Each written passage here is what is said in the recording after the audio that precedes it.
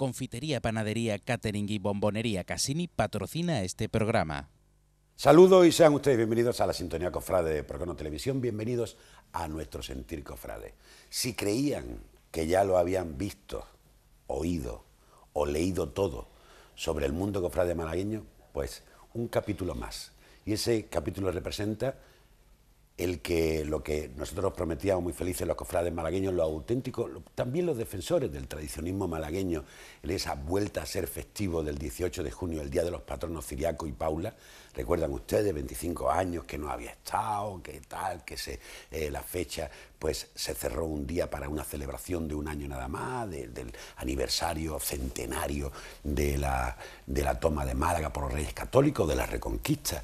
Eh, pues resulta que, bueno, los poderes de la ciudad aún demostrado esos poderes eh, económicos, tanto de bares, restaurantes, que no eh, se quedan solo contentos en tener embargado durante todos los días del año nuestra vía pública, las terrazas, etcétera, pues ahora han convencido al ayuntamiento, han convencido al delegado de cultura, de, al, concejal de cultura del ayuntamiento de Málaga igualmente para que este jueves se presente una moción para que otra vez pase a ser festivo el 19 de agosto en detrimento de ese día solo en el año 2013 que fue festivo el 18 de junio.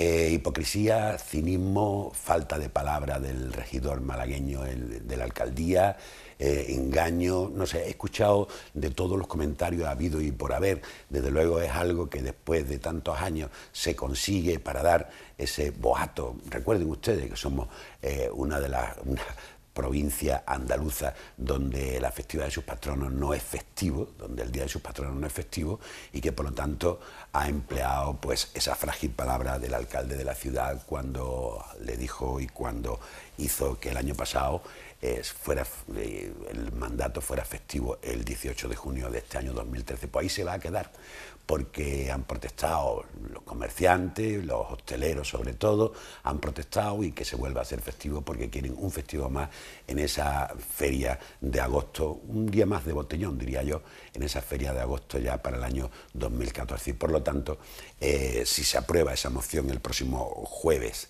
que va a presentar el Partido Popular y tiene mayoría, por lo tanto, para ganarla, pues se pasará a ser festivo otra vez el 19 de agosto y, como le decía, en detrimento del 18 de junio, que era el día festivo que ha sido este año.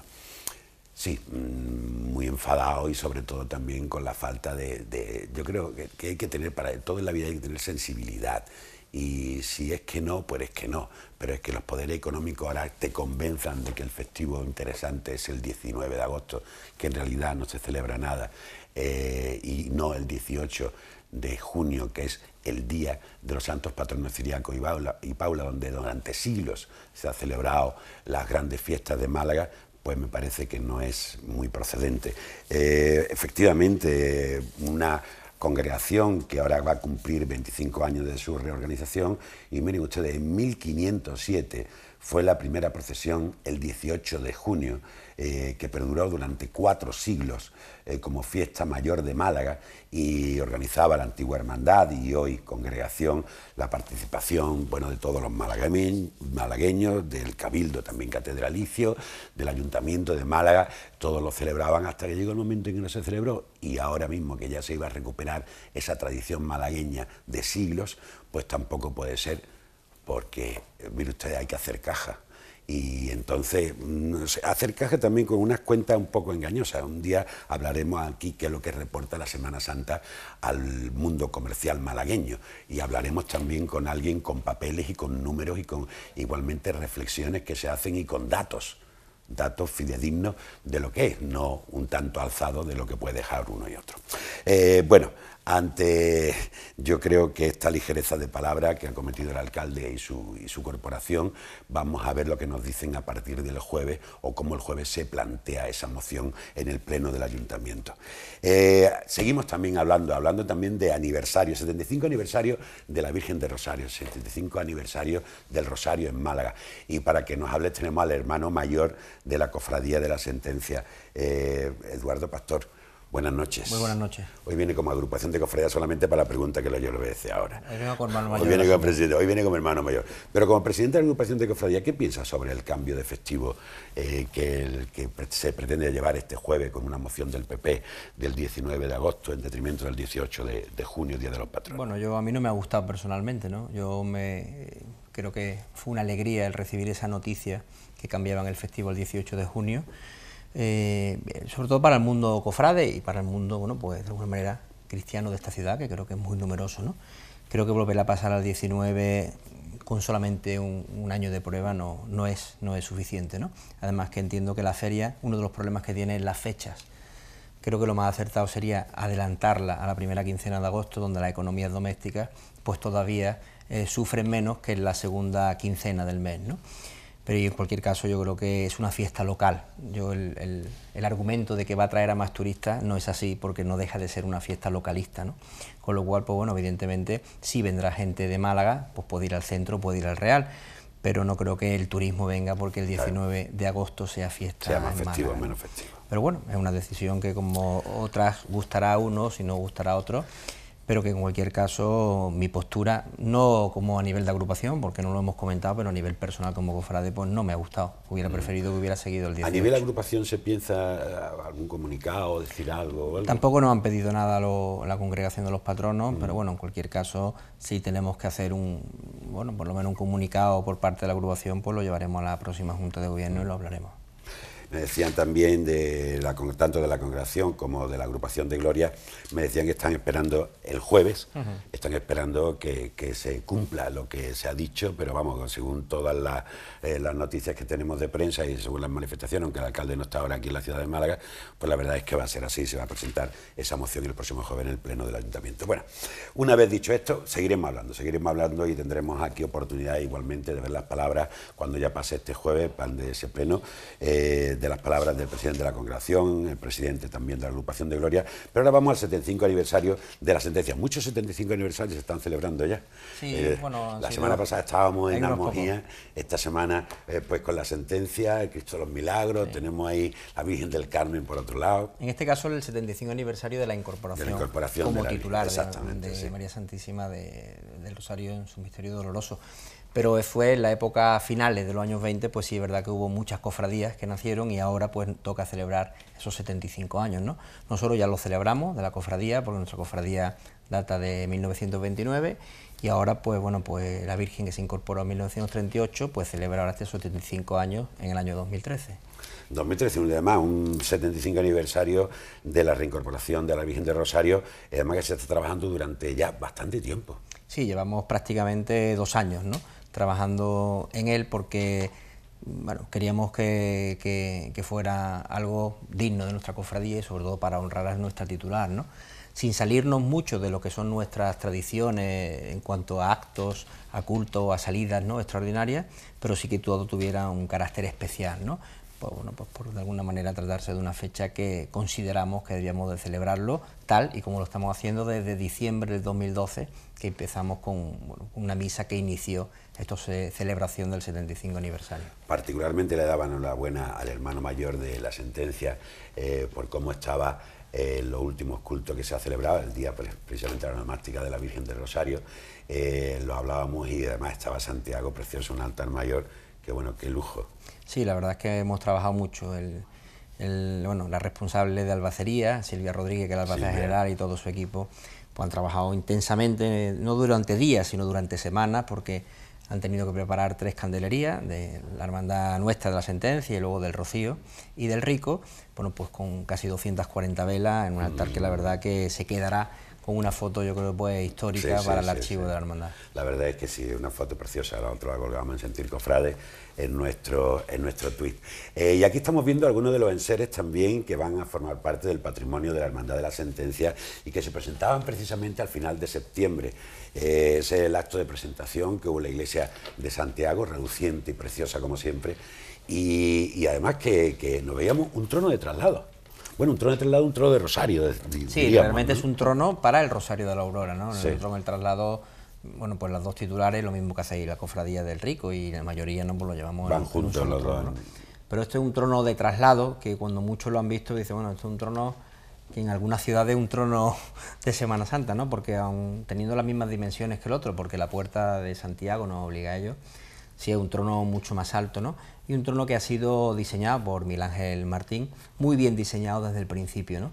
Para que el trono pudiera utilizarse no solamente... Versátil, claro, un trono versátil, claro, La peana al final va a ser un elemento importante dentro de nuestra capilla en Santiago, una peana que se divide en dos para que sirva de mano, los cuatro rebotantes llevan sus pies para servir también para decorar cultos, ¿no? O incluso para que estén expuestos en la vitrina de la hermandad, bueno, pues de una manera bastante mejor, para que se pueda ver por todo el mundo y disfrutar de este magnífico trono, ¿no?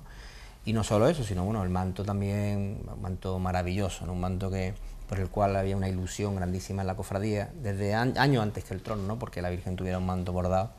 Y ahora, bueno, pues ha llegado esta ocasión para poder... Manto de capilla. Manto de capilla, un manto mm. también para el propio Rosario de la Aurora, donde Manolo Mendoza y Salvador Aguilar han hecho un trabajo excepcional. ¿no? Mm. Y luego ese estandarte que estamos viendo, eh, la recuperación del, primer estandarte de la Virgen que tuvo esta cofradía, una magnífica pintura de Rebello de Toro, donde sí es la Virgen que entonces teníamos, ¿no? donde Rebello sí puso bueno, pues de alguna manera todo su arte para plasmar a la Virgen tal y como era en esos momentos, pintura que estaba muy deteriorada y que Estrellarco pues ha llevado a cabo la restauración y luego el propio estandarte una, la vestidora, en este caso de, la Virgen y del Cristo, Alicia Vallejo, pues ha llevado a cabo la restauración del estandarte, no es la misma tela, que la tela estaba también pues muy deteriorada, pero sí con piezas del antiguo estandarte, pues hemos elaborado este nuevo, que también será el estandarte, el símbolo de, este 75 aniversario. 75 aniversario que tiene su salida en Rosario del Orar, como siempre lo hace eh, la Virgen de Rosario el último domingo de octubre. Sí, el 27 de octubre. El 27 de octubre, siempre nos deja dormir una horita más. Sí, porque el cambio de hora, pero nunca podemos llegar tarde, siempre antes. Siempre antes, exacto. Y la verdad es que, bueno, pues una fecha ya muy simbólica para la cofradía, no queríamos tampoco alterarla, barajamos las opciones de sacar, hacer una procesión extraordinaria, pero yo creo que nuestra procesión fuera del Martes Santo es este Rosario de la Aurora y le vamos a dar este año, por supuesto, un carácter más extraordinario. Entramos en la catedral, que es un honor para nuestra hermandad que nos hayan dado la autorización para poder entrar el domingo a las nueve menos cuarto en la catedral y allí, bueno, pues... pues sobre las 8 menos cuarto saldrá...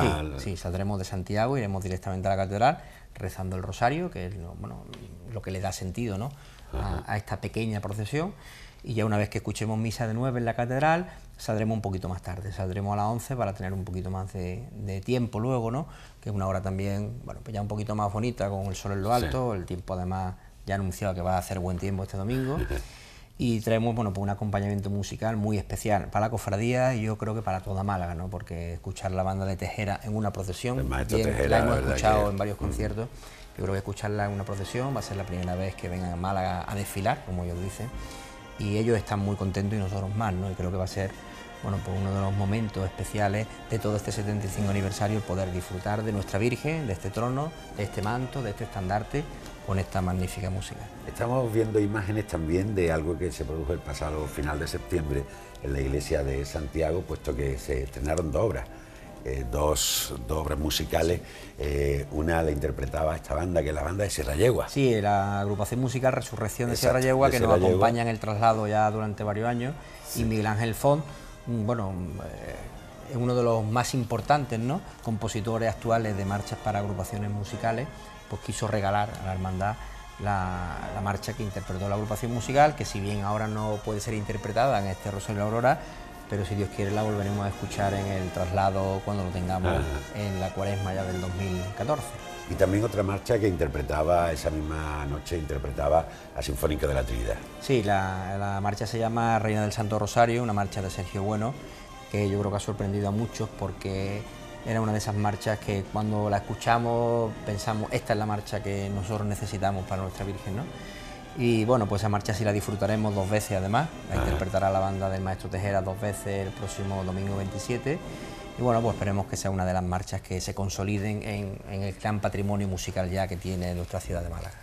Oye, como todas las cofradías de la sentencia, pues bueno, trabajando y haciendo y llevando a cabo, pues todo lo que hemos visto este aumento de patrimonio y también esa forma eh, versátil que nos ha explicado su hermano mayor, que nos ha explicado Eduardo Pastor, del trono de traslado, todo trono de traslado, trono de rosario que tiene eh, la cofradía, eh, porque hay que hacer encaje de bolillo en estos tiempos. Sí, es muy complicado, muy difícil, ya las colaboraciones institucionales por supuesto se han perdido y las colaboraciones particulares, muchas de ellas también, ¿no?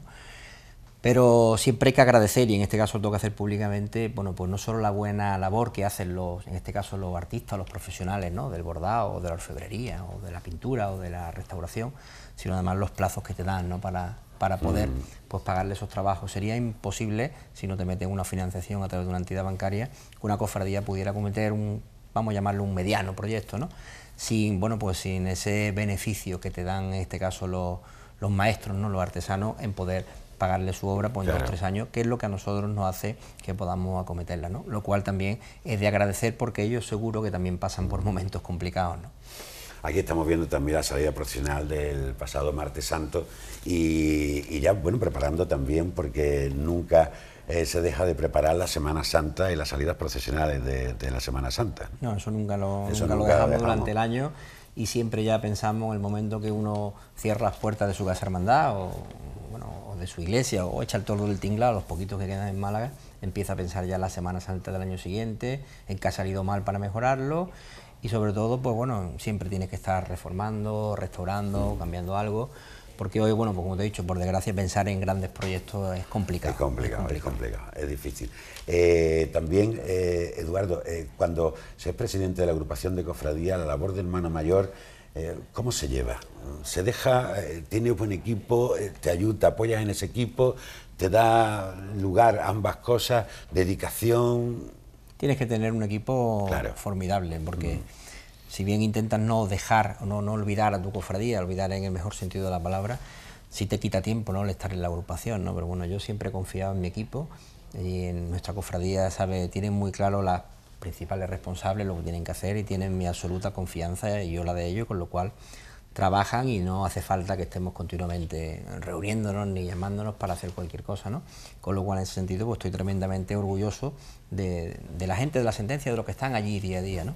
Porque está claro que sin ellos sería imposible hacer tantas cosas y que yo estuviera siempre omnipresente. Eso que además creo que tampoco es bueno, creo que los hermanos mayores debemos de dejar de delegar todo lo posible porque si tú le das responsabilidad a alguien, pues tienes también que, delegar y dejar que trabaje con la libertad que tenga que hacerlo para que tú no, no, seas tu trabajo, sino sea siempre el de otro, supervisado por ti o con el visto bueno tuyo, pero siempre el trabajo de otro. Exactamente, eso es un consejo eh, que lo da el presidente de la agrupación de la cofradía, un consejo que lo da el hermano mayor de la sentencia y un consejo muy efectivo porque así crea ilusión y sobre todo a la gente que está trabajando, que me consta, porque así lo he podido comprobar en varias ocasiones, no solo en momentos de liturgia, sino en otros series de momentos he podido comprobar también eh, la fuerza que tiene ese equipo trabajando en la sentencia. Pues Eduardo, pues nos vemos el domingo. Pues sí, si Dios quiere estaremos prácticamente toda la mañana en la calle porque una vez que salgamos de la catedral a eso de las 11, yo creo que estaremos aproximadamente hasta ¿Qué recorrido voy a llevar?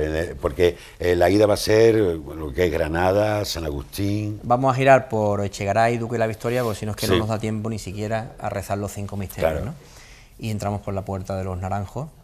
Y luego ya una vez que salgamos de la catedral, giraremos a la izquierda para, por calle Santa María, calle Molina Lario, Plaza del Obispo, giraremos a la derecha en calle Estracha, Torre de Sandoval y Bolsa, cruzaremos calle Lario, para entrar en Marín García, Mesón de Vélez, Liborio García, Calle Nueva, Especerías, haremos la Plaza de la Constitución bordeándola por donde están las palmeras y los naranjos, luego calle Granada, calle Calderería, cruzaremos la Plaza Uncibay para empezar a subir Casa Palma, luego giraremos a la derecha en calle Beatas, que la haremos entera, va a ser la primera vez que hagamos la calle entera, para desembocar en la Plaza de Jesús Castellano, donde allí tendremos bueno, pues un pequeño acto también eh, en homenaje a Jesús, también con mosaico que allí descubriremos el domingo, y luego ya pues, bueno, pues calle Granada y a nuestra parroquia de Santiago, que estimamos que será aproximadamente sobre las 2, 2 y cuarto de la tarde.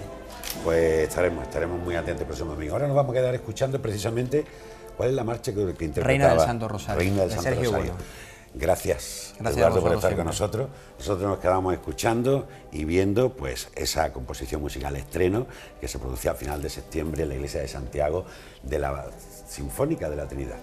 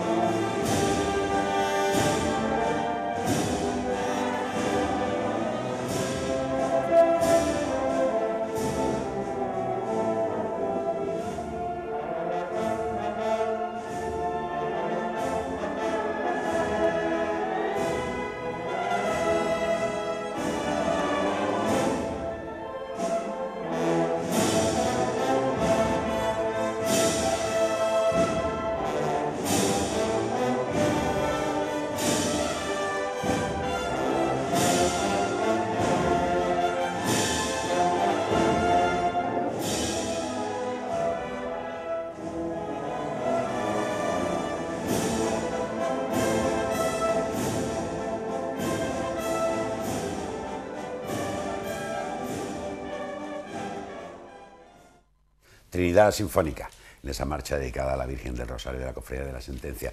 Y nosotros nos vamos a ir ahora a la agrupación de porque era el pasado jueves cuando se presentaba, efectivamente se presentaba al cartelista del año 2014, cartelista de la Semana Santa, Pepe González Bueno, José González Bueno, pintor, acuarelista, buena gente, buena persona, sobre todo un pedazo de artista eh, que seguro, seguro, seguro eh, que nos va a complacer en este eh, cartel oficial de la Semana Santa de Málaga. Allí lo presentaba precisamente el presidente de la agrupación de, de cofradía, Eduardo Pastor, y el delegado de cofradías y hermandades, el reverendo padre Francisco Aranda.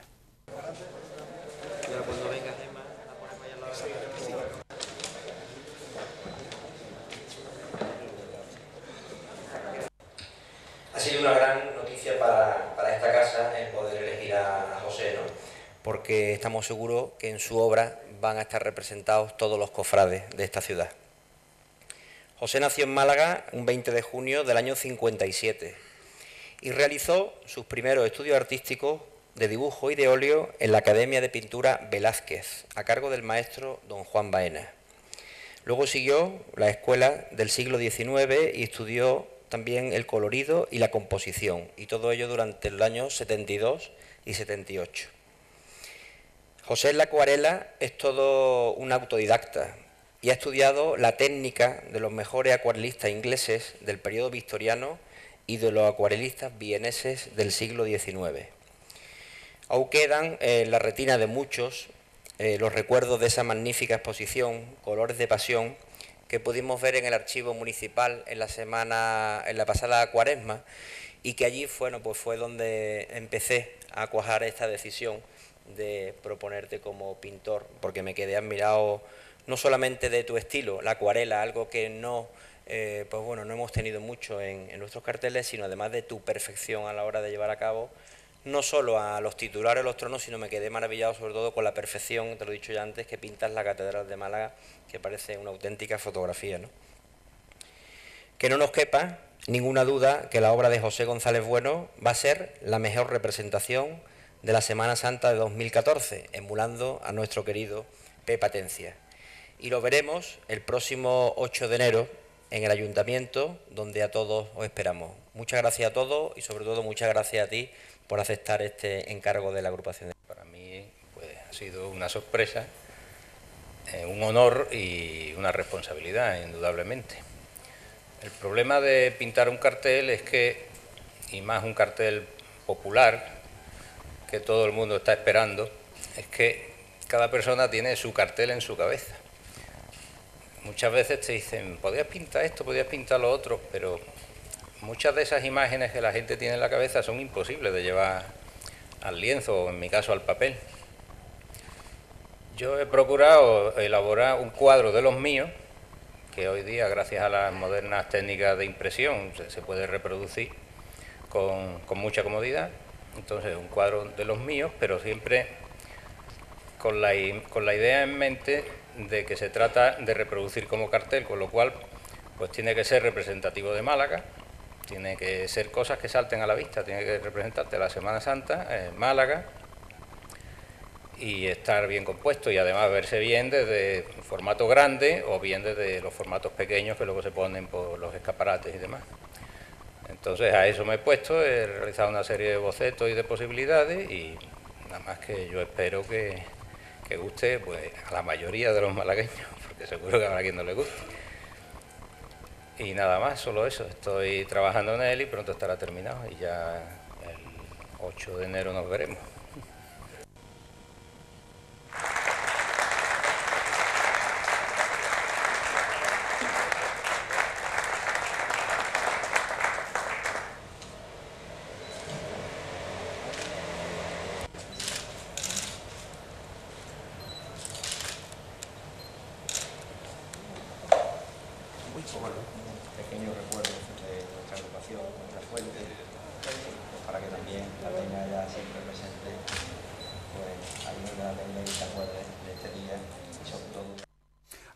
Ustedes también al pintor que va a llevar a cabo el cartel de la Semana Santa de Málaga 2014, José González Bueno. Eh, sin duda, sin duda, va a, ser, va a ser un buen cartel, seguro, seguro, porque las buenas personas tienen que hacer buenos trabajos, y como buenos carteles. Hemos podido ver también en las imágenes a Rebello de Toro, qué buen pintor, qué malagueño tenemos ahí. Eh, bueno, ahora nos vamos a ir a ver también un vídeo de la Virgen de Rosario, de la Virgen de Rosario de Santo Domingo, que hacía igual ese horario un, un, horario vespertino hacia el Rosario de la Virgen de Rosario de Santo Domingo. Vamos a ver la imagen.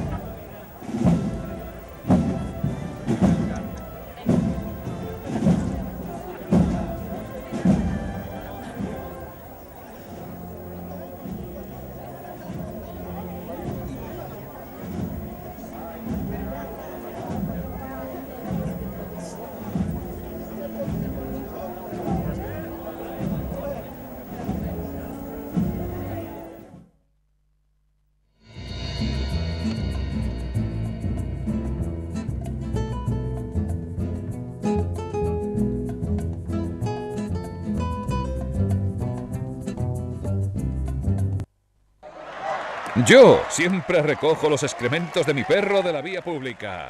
Va por Málaga. Échale un capote a tu ciudad y firma una gran faena, recogiendo siempre los excrementos de tu perro de la vía pública. Sanción de hasta 500 euros.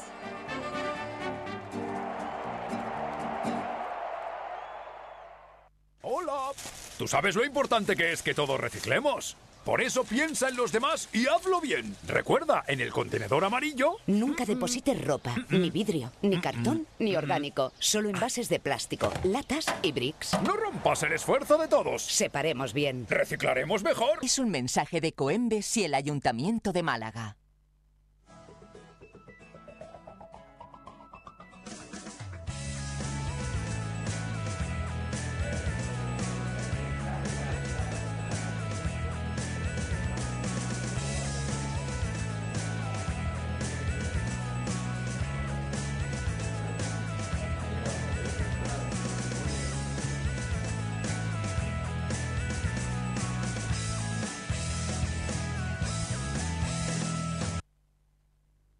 Cassini nos ofrece la mejor selección de pasteles, bombones, bollería, pan recién hecho, café express y tartas de todos los sabores y al gusto de nuestros clientes. Especialistas en tartas y productos sin gluten, Cassini cuenta con catering para celebraciones y eventos.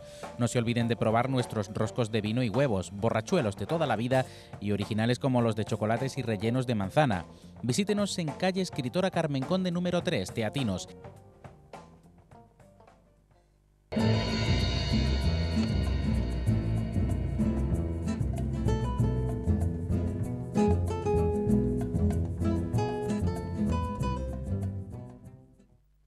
El próximo viernes 25 de octubre, dentro de nuestra agenda, tenemos anotado que se va a presentar la edición de otoño de la revista La Saeta. Será a partir de las ocho y media de la tarde eh, precisamente el, el, Salón de Actos de la agrupación de cofradías y la va a presentar eh, Francisco Calderón, que es hermano mayor de la cofradía de las Penas. Además, se va a presentar el libro titulado 75 años de Rosario en Málaga, que está coordinado por Andrés Piedrola y que también colabora Andrés Camino, Augusto Pansar, eh, entre otras personas, que, otros escritores que han hecho posible este, este preparado, eh, sobre todo el libro 75 años de Rosario en Málaga. También decirle a ustedes que el próximo lunes, algo que me complace mucho en anunciarle, eh, se va a inaugurar y se va a bendecir las nuevas instalaciones del Economato Social Corinto. Eh, recuerden ustedes que estaba en calle Amargura, bueno, las instalaciones se quedaron pequeñas y en un local, la Alameda de Capuchino, la Alameda de Capuchino número 21, es donde se va a establecer ese economato social, donde ya está funcionando el economato social. Será el próximo lunes, día 28, a partir de las ocho y media de la tarde, eh, va a estar esa bendición y, e inauguración, va a estar presidida por, el alcalde de la ciudad, Francisco de la Torre. Eh, después decirle a ustedes que igualmente todavía, todavía tenemos eh, los ecos que pudimos comprobar el pasado fin de semana con el Rosario de la Gloria. Ya le hablaré de ello, pero ahora nos vamos a ir igualmente a otros rosarios que se celebraban, por ejemplo, el Rosario de la Virgen del Traspaso y Soledad de Viñeros, un rosario vespertino eh, por la feligresía de Santa, precisamente de los santos mártires, y que desde la iglesia de, Santa Catalina eh, pues salía la imagen de la Virgen del Traspaso y Soledad.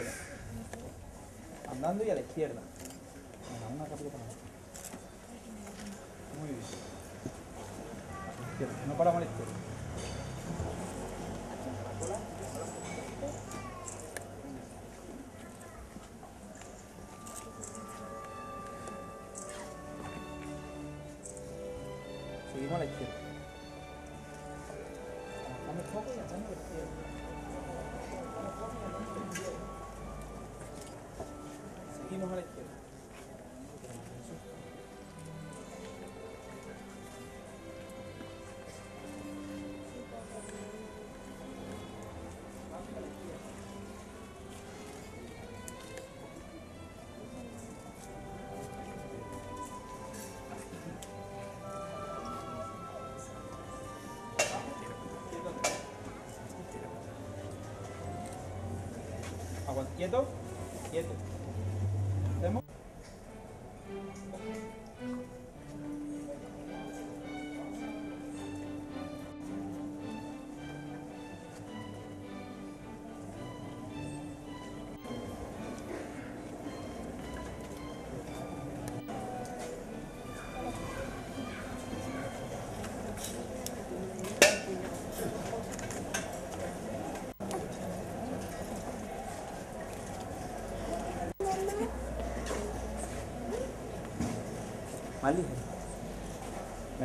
ligerito.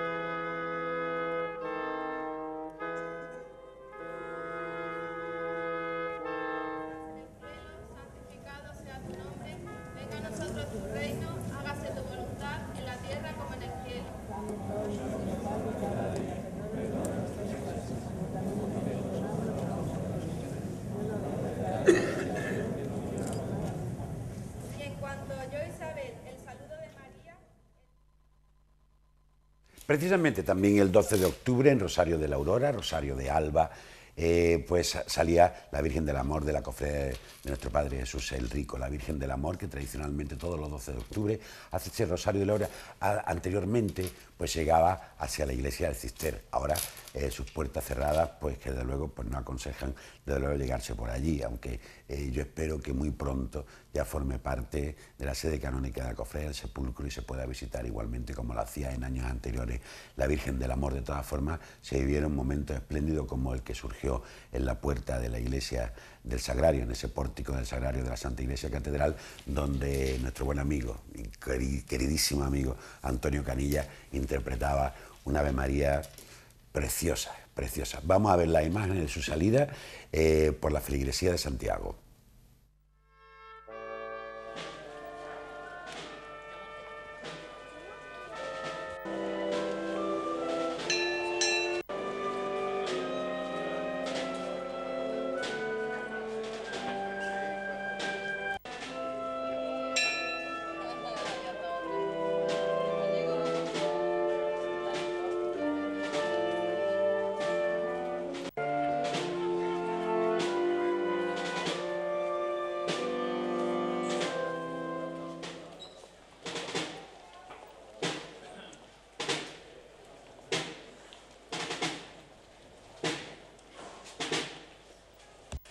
Saltó de gozo en su seno, e Isabel quedó llena del Espíritu Santo.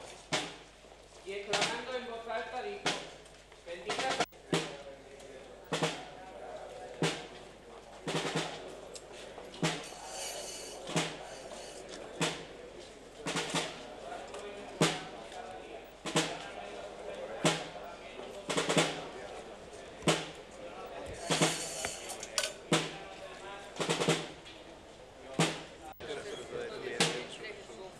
Madre de Dios, ruega por nosotros pecadores, ahora y en la hora de nuestra muerte. Amén. Dios te salve María, llena de gracia, Señor es contigo.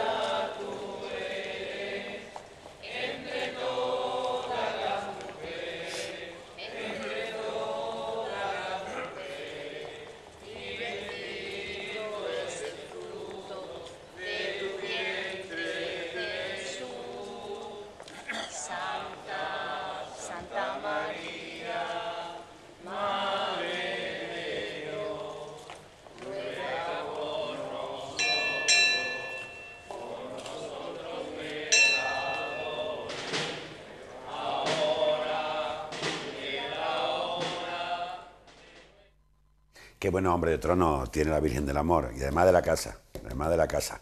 Enhorabuena, felicidades, un abrazo a todos y la Virgen del Amor, como siempre, preciosa. Eh, la gran desconocida, siempre lo digo, la gran desconocida de Málaga, la Virgen del Amor.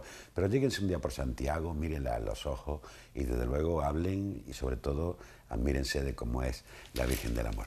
No es por nada, es un consejo que les doy. Y nos vamos ya a ver eh, precisamente lo que se producía este pasado fin de semana.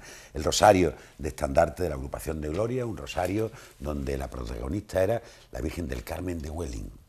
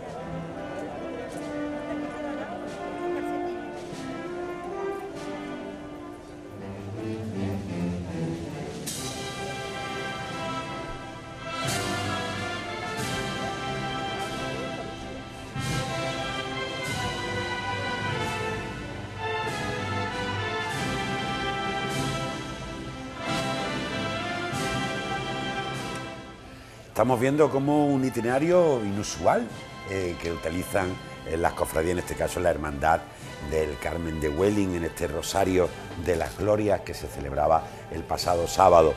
Un sábado donde por la tarde llegaba la Virgen en una jávega, en la jávega San Andrés, y con la aportación de esta capilla musical que estamos viendo, al igual también que muchos coros que la estaban esperando en sitios concretos en el recorrido, pues hacía un recorrido, eh, bueno, eh, quizá eh, no muy normalmente usado por las cofradías, como esta llegada al puerto, en la esquina del muelle 1 y el muelle 2, más pegando al muelle 1, donde hay una zona de embarcadero que precisamente se pudo, donde llegó la Virgen y después se pudo poner a hombros de precisamente escoltada por los remeros del Carmen. Eh, eh, varios turnos se hicieron para llevar las andas, esta pequeña anda donde iba la Virgen del Carmen de Welling, y en ese recorrido que tuvo tanto por la calle Agustín, eh, Tomás Agustín Heredia, también por calle Córdoba, pasando concretamente a la plaza de Felisaen por Puerta del Mar y después callejeando hasta llegar a la Santa Iglesia Catedral donde se abrieron las puertas de la fachada principal para dejar pasar a la Virgen del Carmen de Welling. Yo creo que fue una fecha, sobre todo este rosario de antorcha, donde estaban representados pues, todos los estandartes de las cofradías agrupadas en la agrupación de Gloria, la agrupación de hermandades y congregaciones de Gloria que actualmente el número 19 se agrupan eh, con, este, con este nombre. Un callejeo, después por la ciudad, como le decía, hasta llegar a la catedral.